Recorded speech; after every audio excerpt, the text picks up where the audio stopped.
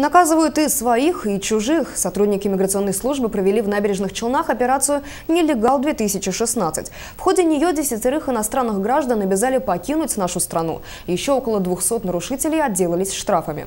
Всего за три недели было проверено более двух сотен точек возможного обитания мигрантов.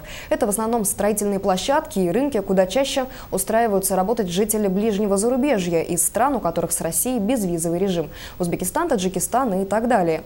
Больше всего нарушений нарушений было зафиксировано на стройках частного сектора, и гастарбайтеров и их нанимателей оштрафовали. При выявлении нарушения накладывается достаточно большой штраф, вплоть там, до 800 тысяч за каждого иностранного гражданина, незаконно осуществляющего трудовую деятельность. Причем штраф налагается за каждого отдельно.